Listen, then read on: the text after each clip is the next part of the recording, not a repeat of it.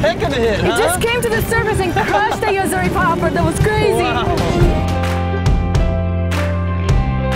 It was sunny for like five days straight, and then all of a sudden, we lost all of our light, and it was completely cloudy out for our day of inshore fishing. We made our first stop and started trolling some pilchards.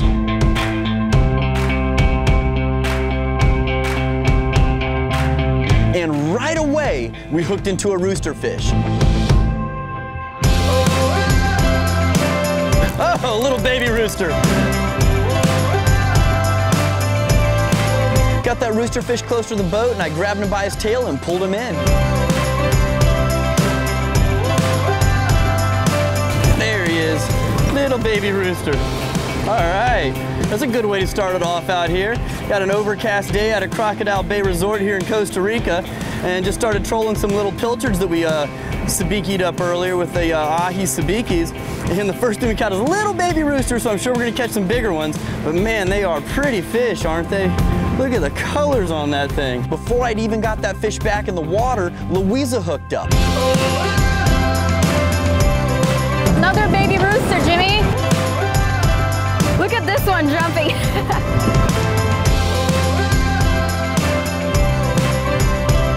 Rooster fish are such a neat looking fish. They're just so colorful.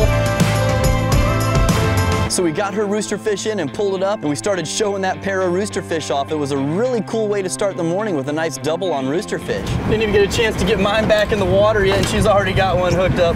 Uh, I, I thought mine was gonna be the little fish of the day, but it looks like uh, she got one even smaller. yeah, smaller. mine a little smaller. I never That's a caught good- a s- yeah, I never caught a small rooster like this. All the ones I catch usually big. Yeah, good competition to have. We'll see who can catch the smallest one today. Yeah, let's do it. Those two fish swam away with no problem at all.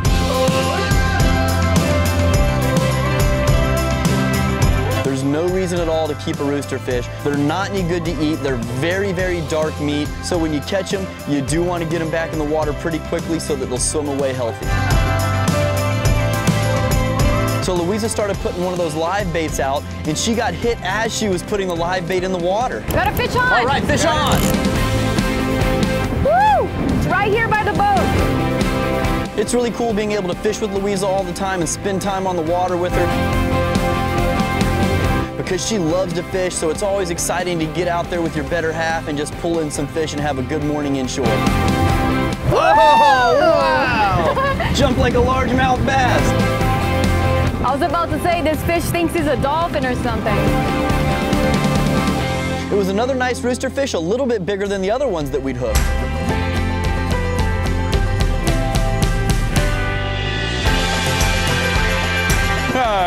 right. When you start catching rooster fish one size, they usually all start coming in that size because when they get schooled up, they school up with fish about the same size as themselves. Another nice rooster fish from Luiza. All right. Such an overcast day, a little gloomy out, but the little roosters are very active.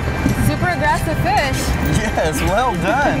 Got a couple nice jumps out of them too, huh? Yeah. All right, this nice rooster fish put up a good fight, so we're about to release him now. Catch him when it's bigger. Captain got a call on the radio that one of the other boats found a school of spinner dolphin, so we decided to pack everything up and run offshore in hopes of catching a big tuna.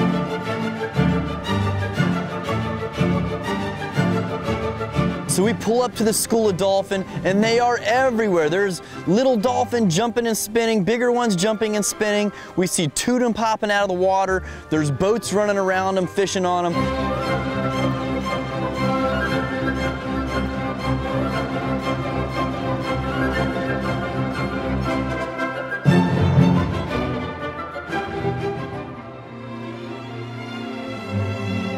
An amazing spectacle to see all these dolphin and birds and everything just jumping and moving around you.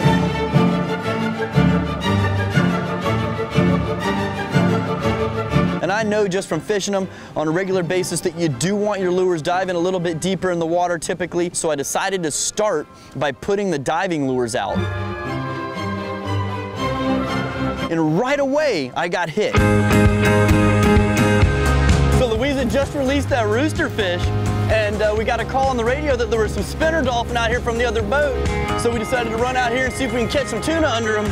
And uh, sure enough, right after I put this Yo-Zuri Hydro Magnum in the water, got hooked up. And I've fished spinner dolphins several times in the past, several times here in Costa Rica and Panama and Mexico, different areas. And every time I've been on them, we've done very, very good with the tuna.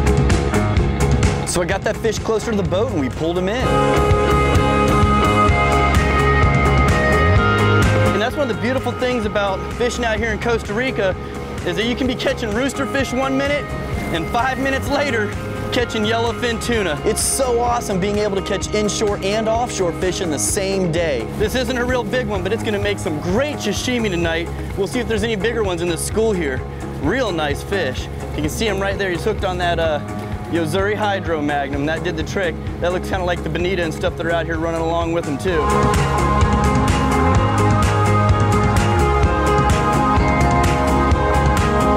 So we got set back up, we put the diving lures back out again, and uh, started trolling in front of the school of dolphin to see if we could pick up another yellowfin tuna.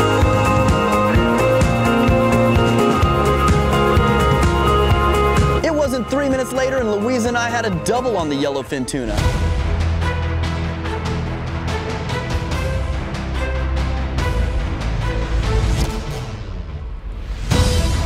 Woo! Doubled up on the Yo-Zuri Hydro Magnums, buddy. These are smaller tuna. They weren't real big, but they were still a lot of fun to fight. So I got that tuna closer to the boat and realized it was small enough to lift in, so I went ahead and just lifted it straight in the boat. Not long after I pulled mine in, Luiza pulled hers in.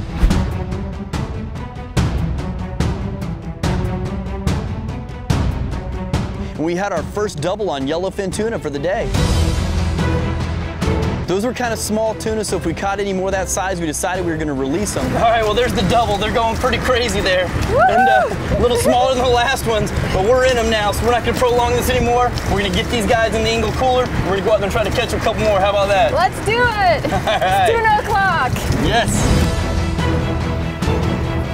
And in the distance, we could see some of the yellowfin tuna jumping out of the water. So I got my popper ready and ran up to the bow of the boat. I slung that popper out there and I got to pop it about two times before I had one explode on it.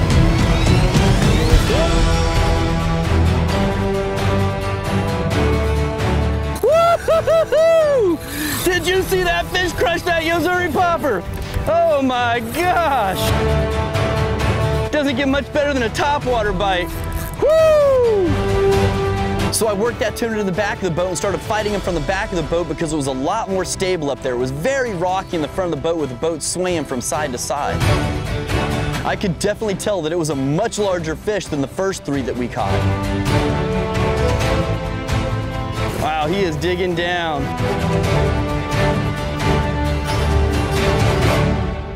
And that fish was just pulling down and I was pulling up on it and just giving it everything I had to get that fish close to the surface because I didn't want to lose that school of dolphin.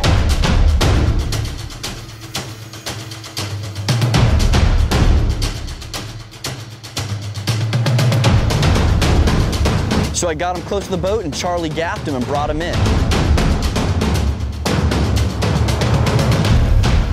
When you're fishing the spinner dolphin, the tuna are actually below them, following the dolphin, just kind of going along with them wherever they go. Woo! The biggest one so far, and we just got in them. Man, I don't know how clearly you guys saw that, but uh, I saw it pretty clearly, but that fish just came up and crushed that popper on the surface. There were so many of them jumping back there. That's the exci most exciting hit to see, in my opinion, is when a fish crushes a popper on top water, man. Just so awesome, especially a big yellowfin tuna like this that just comes all the way out of the water on it. Look at this fish. Oh my gosh. These fish are shaped like bullets. They lay all these fins down when they start coming through the water. If you notice that there's a groove right here that that fin lays down in, and that's what it does. This, this, this uh, dorsal fin's already laid down right here, it's, it's hard to even pop out, but right there's a groove for that big dorsal fin as well. That goes in, everything's there except for that tail kicking, and he's just guiding himself with these. This is what it looks like when it's coming at you, except those fins are folded in. If you're a bait fish and you see this coming, you better watch out because you are gonna get eaten. Wow, you're gonna be eating good tonight.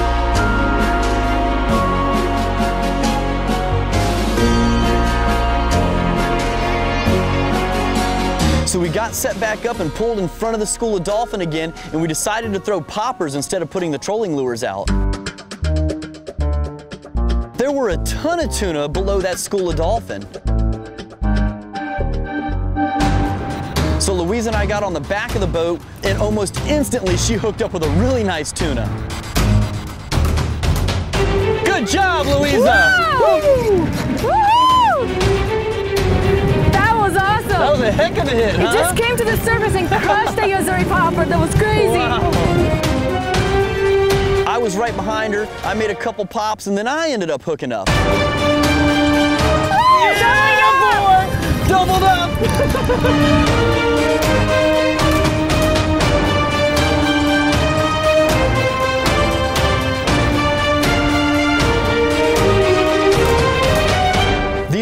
definitely the biggest tuna of the day, and Luiza had a really, really big one on. Hers was much larger than mine. Tuna are a very strong fish. I mean, they are all muscle, solid muscle, very fast, very strong fish. Just amazing to see all those spinner dolphins. And Oh, man, you know, if you find those spinner dolphins, you're always going to find a tuna, most That likely. is a fact. That is one thing about a tuna. They are a backbreaker, especially when they get right below the boat like this. They just sit there and spin, like slowly coming up. And I'm trying to keep that head tilted up so that he's not pulling line out. That's what I like about this uh, 20 to 40 class Airwave Elite because it's got plenty of flex in the tip for casting. You feel things. You're going to be using it for different things. Like I even use the same rod for snook, but you can also bring it out here and catch big yellowfin tuna on it as well. It's got a lot of backbone, man. That's a strong rod. They build these rods right.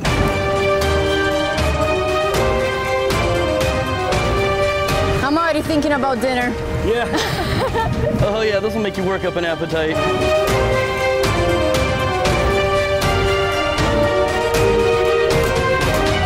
And then the lines cross, and then we have to do our little tuna dance and go under and go over and mix around so our lines don't get tangled and crossed and cut.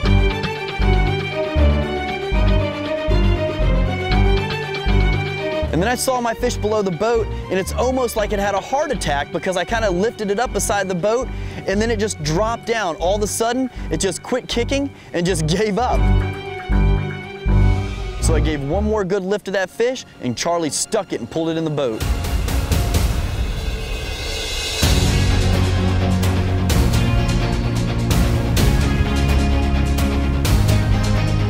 And that's what we got him on. Wow. What a nice fish. Whoo! Right after I pulled my fish in the boat, Luiza's fish ended up pulling the hook and getting away.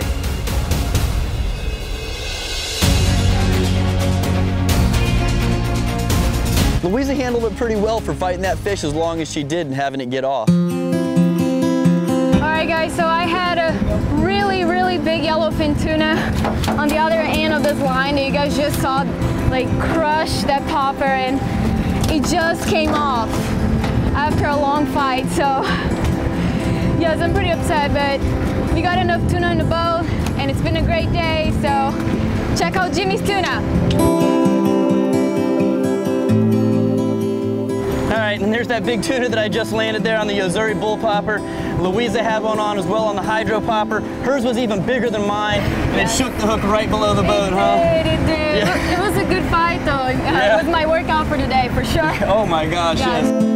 It was an amazing day on the water to be able to catch rooster fish and tuna in the same day. And this again is a good look at that last tuna that just came in the boat.